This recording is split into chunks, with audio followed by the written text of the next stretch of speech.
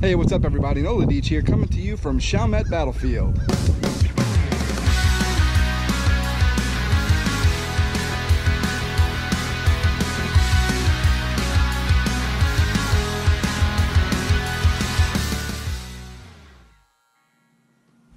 Chalmette Battlefield and National Cemetery.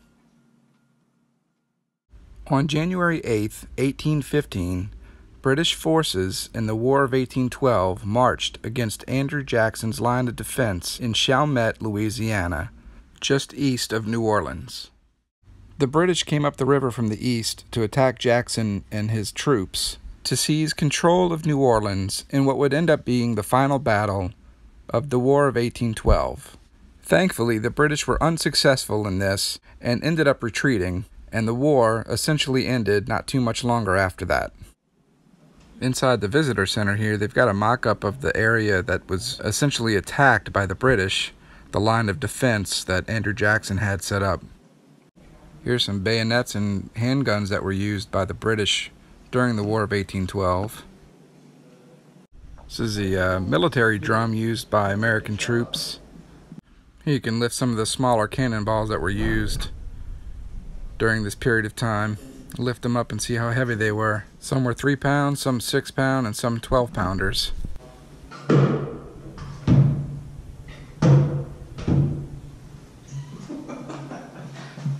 So just outside the visitor center is the Chalmette Monument. It was put up to recognize Andrew Jackson and his troops for the battle that took place here. The monument stands about 100 feet tall, and the process to build it began in 1840, but it wasn't completed until 1908.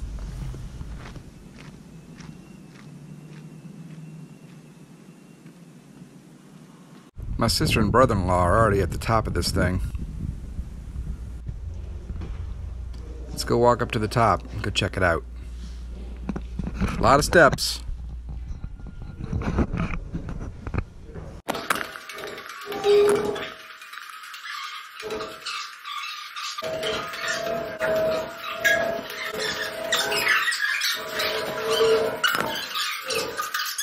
I'm completely out of breath. Yeah, I got the block there. Oh. There are wasps all over the outside of this thing. There's only like two beams up in here. Oh, yeah. Yeah, there's like two beams.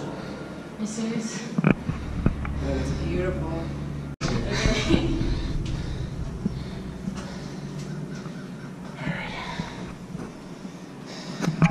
It's still worth the walk, the walk up here. Yeah. Yeah, hopefully those Down, down will be easier. Huh? Down will be easier. That will be easier.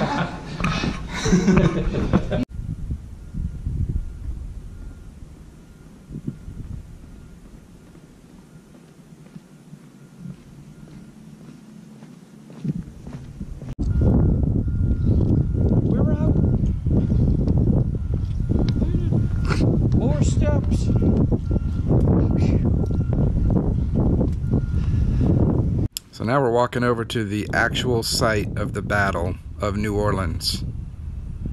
It's pretty incredible to be out here knowing that so many years ago, this incredible battle took place between the British and Americans, fighting over this piece of land, fighting over the city of New Orleans, part of Louisiana.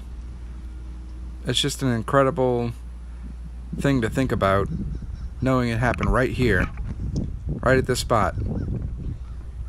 I can just picture all these troops standing on this side of the wall right there and then looking out seeing all these British troops coming at you, charging at you.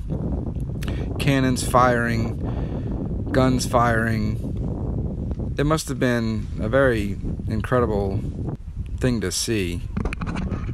Not to mention it's very beautiful out here. But this spot right here, from what I understand, this is the spot that the British troops were actually able to get as close as possible. Thankfully, Andrew Jackson and his men were able to keep them at bay until they ultimately retreated. Yeah, probably get up right here.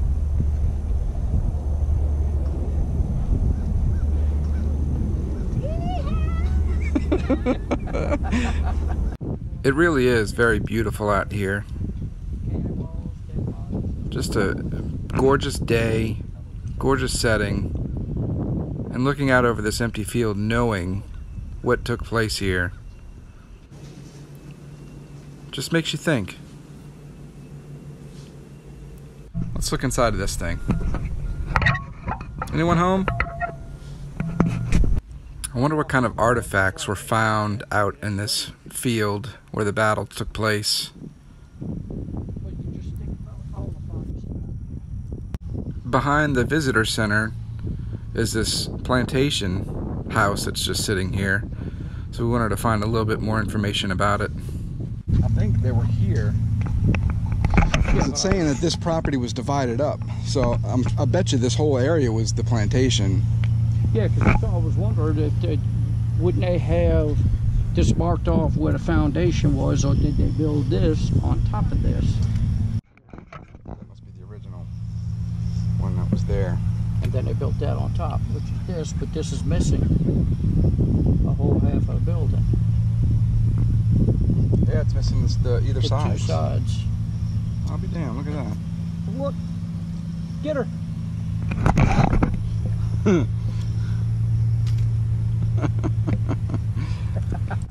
So this is the Malus-Beauregard house, and it was actually built after the war took place.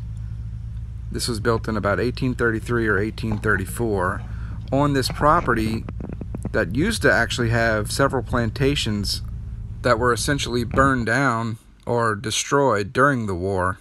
And we're thinking maybe this tree here was a uh, victim of the war. He shot the first. First gun.